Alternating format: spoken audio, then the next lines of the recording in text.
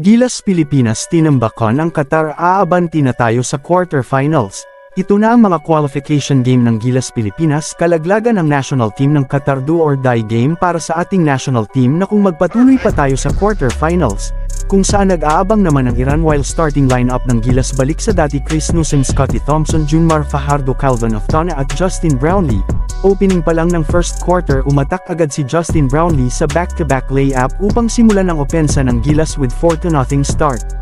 Pero nakasagot naman agad ng back-to-back three-pointer ang Qatar mula kay Endoy at sa 15 years old na si Musa, matapos nga yan nagsimula na ang Gilas Pilipinas mula sa 3 straight three-pointer ni Calvin Oftana maganda ang naging ball movement ng Gilas. Duguan na lang sa bibig si Oftana ng tamaan ng siko ng kalaban pero hindi na dyan nahinto ang init ng outside ng ating national team dahil duguan si Oftana pinalitan siya ni Arvin Tolentino para kumonekta agad ng 3 points at buzzer beater 3-point shot naman kay CJ Perez upang tapusin ang first quarter 33 3-14 tambak ang Qatar.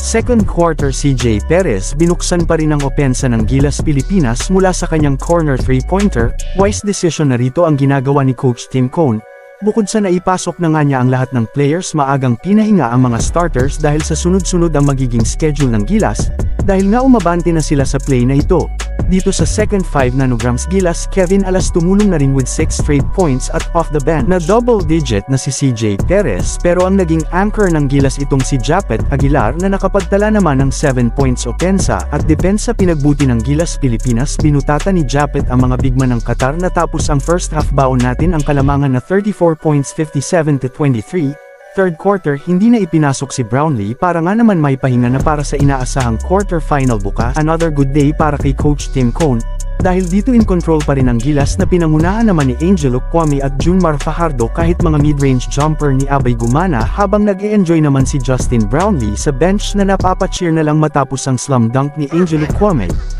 Natapos ang third period lumobo pa sa 43 points ang lamang ng Gilas Pilipinas 30-73, Fourth quarter sinubukan pang humabol ng Qatar pero dahil sa laki ng lamang ng Gilas hindi na kinaya pa ng Qatar makalapit pa at tuluyang nakuha ng Gilas ang panalo at aabante na tayo sa quarter finals at makakaharap natin bukas ang national team naman ng Iran. Perfect.